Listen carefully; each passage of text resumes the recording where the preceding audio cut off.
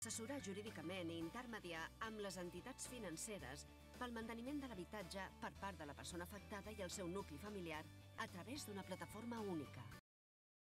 Fa cinc anys, la Diputació de Barcelona, conjuntament amb la Generalitat de Catalunya, conjuntament amb l'Agència d'Habitatge, conjuntament amb els col·legis d'advocats, eh, va possibilitar eh, que es pogués eh, realitzar aquest servei, aquesta prestació del servei, a través de tota l'estructura territorial.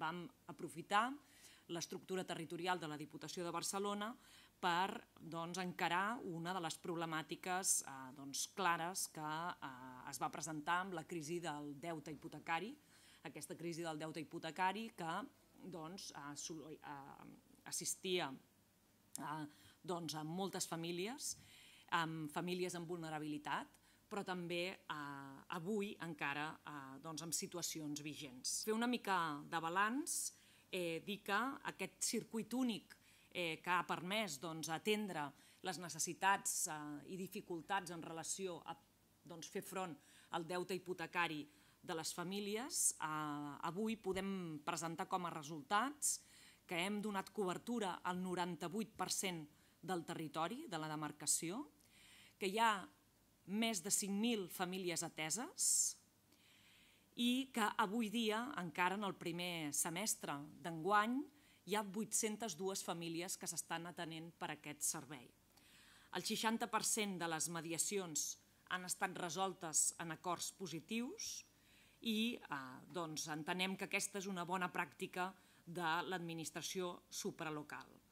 La Diputació hi ha destinat un total de 4,3 milions d'euros eh, que s'han doncs, eh, reforçat o són partides que s'han vingut reforçant i el nostre objectiu, que és un objectiu estratègic, ha estat prioritzar precisament aquesta connexió de la ciutadania amb la cohesió social, eh, traslladant eh, d'aquesta manera doncs, a aquest servei, com dèiem, arreu del territori català. Avui, quan podem fer balanç d'aquests cinc anys de funcionament del servei, un servei que ha estat positiu per a les persones, un servei que assegura un circuit únic per garantir que aquestes persones tindran una mediació i veuran defensats per part de l'administració pública els seus drets respecte a les entitats financeres, eh, doncs precisament eh, quan avui podem fer aquest balanç, hem de també fer un reconeixement al govern de Catalunya per haver tingut clar que les diputacions podíem ser també aquest instrument de solució aquest instrument de garantia per tal que la ciutadania, residís on residís, pogués accedir a aquest tipus de servei. Fem balanç d'aquest servei, aquest servei d'intermediació del deute eh, hipotecari que vam posar en marxa tot just fa cinc anys. No? I ho vam fer conjuntament la Generalitat i la Diputació de Barcelona amb una col·laboració estreta i que jo vull posar en valor dels col·legis d'advocats de la demarcació. La veritat és que des de llavors fins ara n'hem fet molta de feina, ens consta a tots, i a més a més és un d'aquells casos que un li fa goig presentar-ho, perquè el que presentem és una experiència d'èxit. Una experiència d'èxit que hem pogut fer gràcies a la col·laboració, a la col·laboració entre les diferents administracions i altres actors implicats, no, com us deia, per garantir doncs, això que creiem que és del tot necessari i just, el dret a l'habitatge. Avui parlem de fet, no, no, al parlar d'aquests cinc anys, parlem de fet de milers de famílies que han estat ateses perquè aquest servei es pugui produir aquí a, a, a la demarcació de Barcelona. En aquests milers de famílies han disposat d'assessorament a molts nivells per evitar doncs, perdre casa seva, un fet del tot necessari. Què és aquest, per nosaltres el més important d'aquest servei? Doncs el més important és que aquest és un servei útil. És un servei necessari i que eh, mira d'anticipar-se a, doncs, a una situació molt greu, a un problema, i per tant mira de donar respostes. Què hem aconseguit al llarg de tots aquests anys? Ara estem parlant, doncs, des de, eh, quan parlo d'aquests anys, parlo des del 2012, eh? la, conjuntament la Diputació amb el Govern de Catalunya. Doncs des de llavors s'han atès a més de 15.000 famílies, més de 2.800 famílies l'any, poca broma. S'han tancat gairebé 14.000 casos, dels quals gairebé la meitat han acabat amb intermediació amb les entitats financeres La resta van ser assessoraments, informacions doncs, que es van poder facilitar i donar.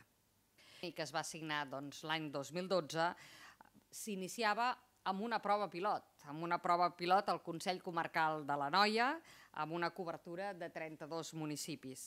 I i ha crescut fins a implementar-se en 40, en 40 punts. Eh? Els darrers, si no m'equivoco, eh, s'obriran aquest estiu a Pineda de Mar, a Cardedeu i al Moianès. I això representa doncs, 305 municipis doncs, que hi donem resposta i, per tant, doncs, el 98% del territori de, uh, de, la, de la Diputació de Barcelona. La Diputació de Barcelona ja des del 2010 eh, té un servei d'orientació jurídica eh, con, convingut amb els col·legis d'advocats del territori per tenir punts d'atenció jurídica eh, gratuïta, assessorament jurídic gratuït als diferents municipis o a diferents eh, àrees eh, del territori.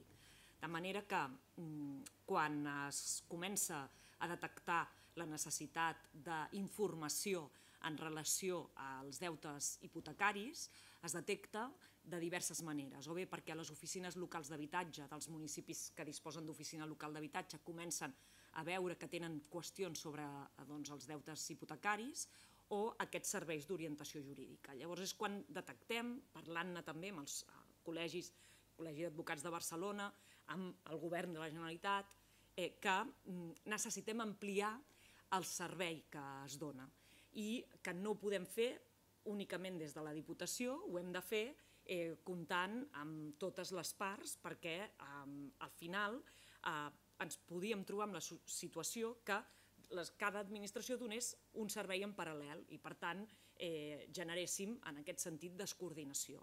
Per tant, el que es va buscar des del primer moment és doncs, precisament poder assegurar una coordinació arreu del territori. El fet que nosaltres tinguem com a Diputació de Barcelona molta capacitat de xarxa al territori ens permet garantir aquests 40 punts d'atenció, que són molts, i que aquests 40 punts estiguin donant servei. I com dèiem, hem unificat de manera que les, eh, els sistemes d'entrada de la petició poden ser a través de serveis socials, a través de les oficines de consum o a través de les oficines d'habitatge, però totes les peticions van a un mateix lloc.